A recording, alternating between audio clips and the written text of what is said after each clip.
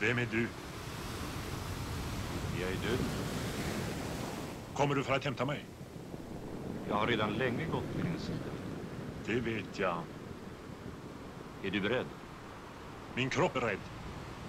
Inte jag själv.